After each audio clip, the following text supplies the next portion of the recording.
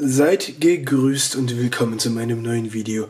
Heute packe ich für euch das Samsung Galaxy S9 aus. Heute ist der offizielle Release-Tag in Deutschland. Wenn man es vorbestellt hat, über ein paar Umwege hat man es vielleicht eine Woche eher bekommen. Aber ich bin keiner von diesen Leuten, die hier nachts vor dem Store schlafen und so weiter. Nee, mir reicht das aus. Ich hoffe, euch ist dieses Unboxing nicht zu spät. Was haltet ihr eigentlich vom S9? Seid ihr gehypt oder scheißt ihr drauf, weil das S8 so gut wie dasselbe ist? Ich bin sehr zufriedener S8-Nutzer seit einem halben Jahr ungefähr. Etwas mehr. Und ja, jetzt habe ich dank Spigen, was mir ein fetter Shoutout an dieser Stelle, das ist der Hersteller dieser Hüllen hier, dieses ganzen Stapels hier, um genau zu sein. Die haben mir nämlich auch etwas äh, dazugegeben zum Handy. Da musste ich nicht die vollen 850 Euro bezahlen. Keine Angst, es ist nicht mehr als die Hälfte gewesen, aber ist trotzdem noch ein bisschen teuer. Äh, hier, äh, das ist auch die Hülle, die ich jetzt beim S8 immer hatte. Ich habe mich echt gefreut, dass die mit mir eine Kooperation wollten. Und ja, jetzt ist es so, jetzt wurde mir hier etwas unter die Arme gegriffen und jetzt kann ich das für euch auspacken und Rev äh, Review folgt natürlich auch in den nächsten paar Wochen. Ja, ähm, der Link dazu ist in der Videobeschreibung, der Link zum S8 auch. Das S8 kann ich voll und ganz empfehlen. Das ist das zweitbeste Handy, was es gibt auf dem Markt. Weil für mich das äh, S9 Plus zu groß ist. Einfach so. Also mir ist das so groß. Das S8 oder S9 ist halt schon wirklich groß genug. Jedenfalls meine Geschmackssache. Wenn jemand jetzt fragt, warum ich nicht die Plus-Variante genommen habe. Trinken wir jetzt einfach mal ein. Also, oh, das ist so geil. Das ist schon schön. Ziehen wir das einfach mal durch. Ja. So. Okay, jetzt muss ich noch mal kurz hier diese feinen kleinen Zahlen unten verdecken. Und dann geht es direkt weiter. So, ich weiß, es sieht scheiße aus, aber das ist halt der Lifestyle. so, das ist die Verpackung des S9. Was haben wir für Daten? Ihr kennt es ja sicherlich schon alle, dass es hier eigentlich die gleichen Daten gibt wie beim S8. Aber wir haben ja eine super Slow-Mo-Kamera.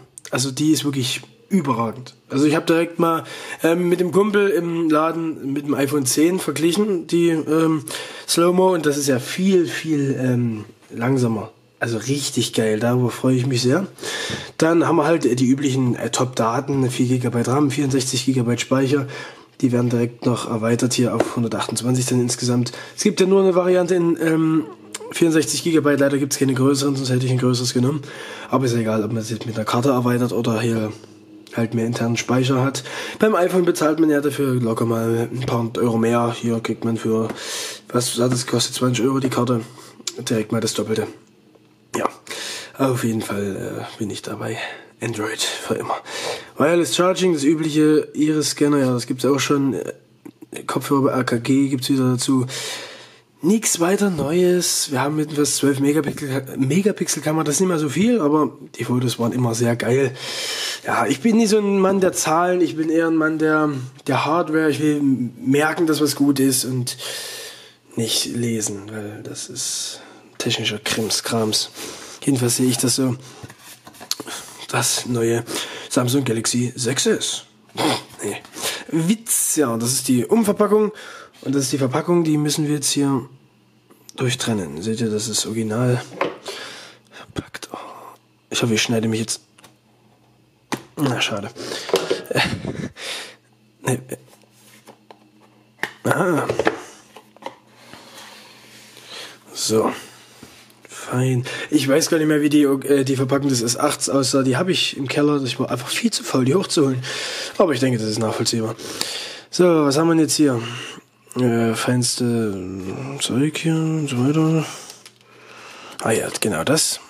Das brauchen wir dann erstmal direkt für die Karte. Aber kriegen wir das hier raus? Ah, ich hasse das. Okay, dann haben wir hier äh, eine Bedienungsanleitung, Quick Start Guide. Was kein Mensch braucht für ein Handy. Oder? Braucht ihr das? Nein, ich hoffe doch nicht. Das Handy. Oh, schön. Ich habe ja mir damals die silberne Variante hier gegönnt äh, des ähm, S8, weil das billiger war auf Amazon. Jetzt habe ich endlich mal in schwarz, das sieht ja geil aus. Aber man sieht davon eh nichts am Ende, weil ich hatte jedenfalls immer die Hülle. Aber jetzt könnte ich ja mal eine andere nehmen. Mal gucken, werde ich mich dann noch entscheiden. So. Verpackung. Zubehör. Wir haben einen Adapter USB zu USB-C. Da kann man einen USB-Stick ans Handy anschließen oder andere Sachen. Wir haben einen Adapter USB-C zu Micro-USB, wenn man halt mal irgendwo unterwegs ist und keinen USB-C-Stecker hat, der die Zukunft ist. Leute, nicht wehren, anpassen, das ist wichtig. Dann hat man halt einen Adapter, das ist wirklich praktisch. Fein, fein. Wisst ihr, was das geil ist? Wisst ihr? Wir haben eine Kopfhörerbuchse. ich wollte es ja nur mal erwähnen. Also, ja. Ist aber eigentlich selbstverständlich. Ja, hier, ähm, Originalzubehör, das muss ich jetzt natürlich nicht auspacken, habe ich ja alles. So, dann haben wir noch ein schönes Kabel. Oh, sieht auch ganz schick aus. Nippel für die Kopfhörer und die Kopfhörer selbst von AKG. Die sind gar nicht mal so schlecht, aber ich benutze nur noch äh, kabellose. Also komplett kabellose. Das, sind die kabellos eigentlich? Doch, die sind auch Bluetooth. Nee, sind sie nicht hier. Ist ja doch eine Klinke. Man, wann werden endlich hier komplett kabellose, beziehungsweise Bluetooth Kopfhörer mit in die äh, äh, Standardverpackung beigelegt. Wir haben es 2018, verdammt nochmal. Ich bezahle ja 850 Euro für ein Handy, da kann ich auch mal ein paar Ansprüche stellen. Naja. Okay, das war's. Nicht spektakulär, nichts Neues. Das ist eigentlich dasselbe. Oder? Ja, mehr oder weniger. Dann hauen wir mal den langweiligen Krimskrams hier zur Seite und befassen uns mit dem Handy. Erstmal ziehen wir es aus und dann gibt es einen kurzen Vergleich.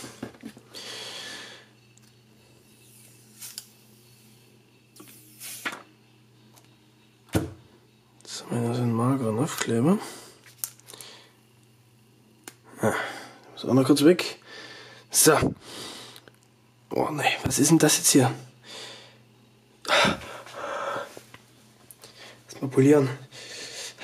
T-Shirt, wie sind. Okay, jetzt sieht es wieder gut aus. Okay, also wunderschön. Dieses Schwarz. Ach, nee. Du hast, hey, ich habe doch eigentlich die Version bestellt ohne. Na gut, egal. Aber es ist mir eigentlich auch wirklich egal, weil ich habe ja nie mehr bezahlt dadurch. Ja, dann fehlt jetzt dem anderen Vorbesteller wahrscheinlich die Version mit den zwei SIM-Karten, aber das ist mir ehrlich gesagt egal. Oh Mann, naja, das ist schön. Jetzt ziehen wir nochmal den Rand ab. Oh auf jeden Fall anderes Material wurde hier verwendet. Da ist ja die, dieser Rahmen sozusagen matt und nicht so glatt wie bei dem S8. Aber das zeige ich gleich nochmal. Aber auch sehr schön auf jeden Fall.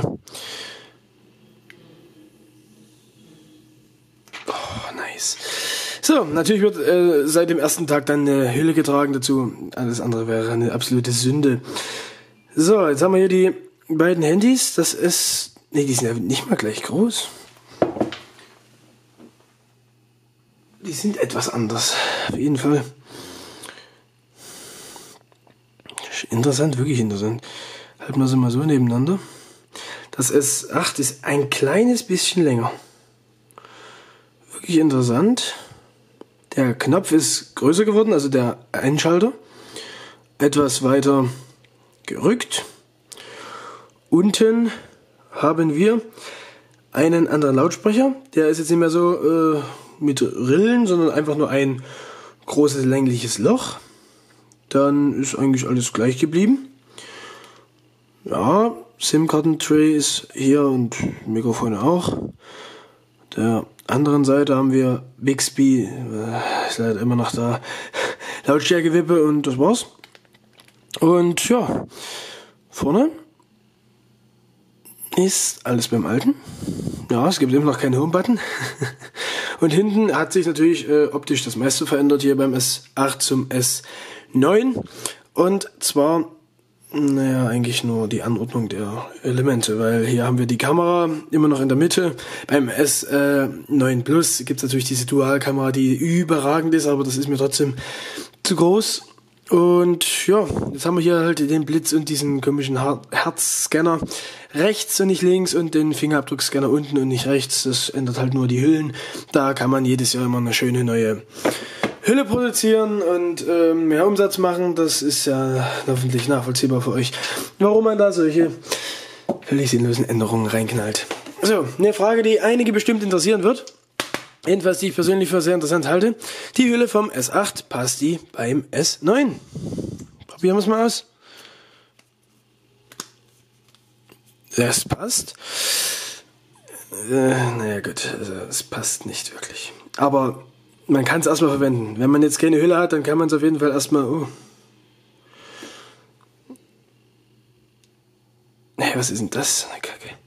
Ach nee, das passt. Na naja, gut, mit den Knöpfen passt es nicht so ganz. Ja, gut. Äh, wir haben es abgehakt. Hä, was geht denn ab? Naja, das ist irgendwie ein sehr komischer Startbildschirm. Also fürs erste Einschalten, das ist man eigentlich anders gewohnt von Handys.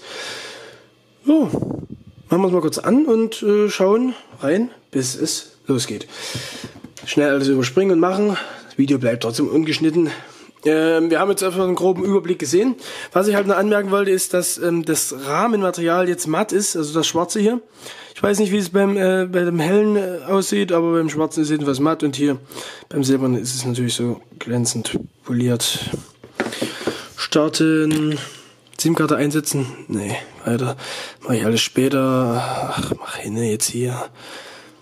Akzeptieren. Ich will jetzt um Home, Bildschirm. Weiter. Nein, danke. Ach, geh mir nicht auf den Sack jetzt hier. Mehr, mehr. Zustimmen. Oh, ja, voll. Nee, ich will wieder mich anmelden, nach dem Konto erstellen, überspringen. Nicht wiederherstellen, weiter. Runter, beenden. Alles erledigt. Oh, dass ich das noch erleben darf. Es ist ja der helle Wahnsinn, Alter. Oh. Hm. Das war ein Stück Effekt. So. Cool. Da ist es. Kamera ist natürlich das erste, was man anguckt, oder? Nein, nein. Dieses Handy wird gerade entjungfert, das ist so schön. Jetzt bin ich. Ja, läuft. Erste Foto. Kamera sieht sehr gut aus. Aber das war ja beim S8 auch schon der Fall. Ja, Rückkamera. Natürlich wieder überragender Autofokus. Boah, so geil. Jetzt haben wir halt hier selektiven Fokus noch. Das ist natürlich anders.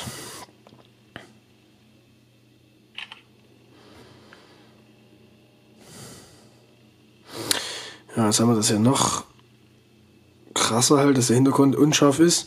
Aber mehr dazu auch im Review dann, detailliert. Was haben wir hier noch? Pro, Panorama Pro. Was ist ein Pro?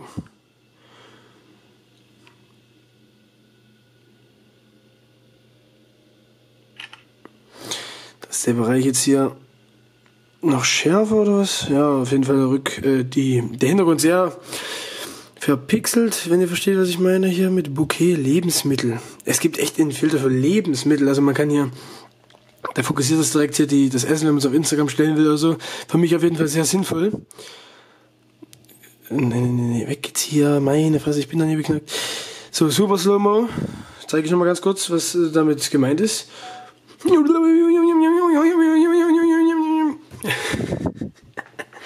So.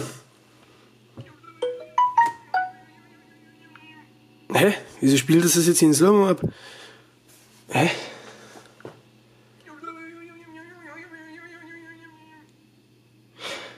Irgendwas läuft hier schief. Hat doch. Tippen Sie auf die Aufnahmeschaltfläche und der die Super beginnt, wenn sich im Quadrat etwas bewegt.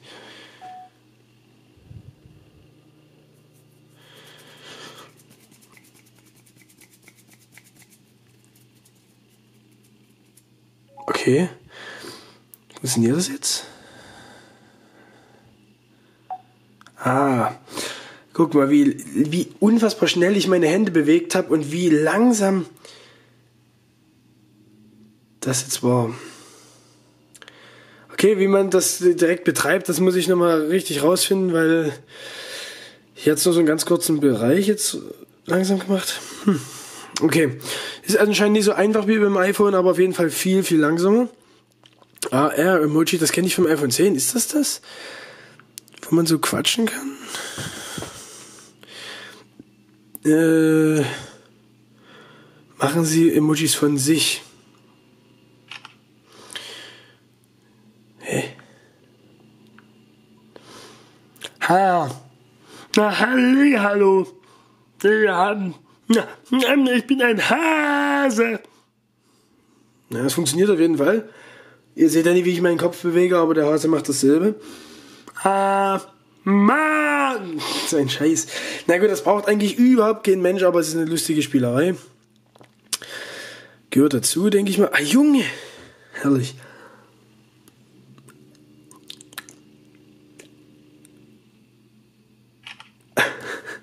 Ja, dann kommen halt solche Sachen dabei raus. Ist eine, ist eine gute Spielerei, ohne dass man irgendwelche Apps öffnen muss. Ist das hier direkt in der Galerie. Die Bilder sind auch sehr gut auf jeden Fall.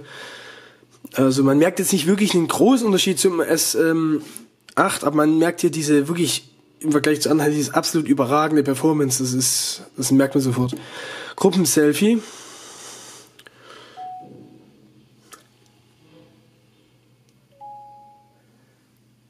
Es konnten keine Bilder im Gruppen.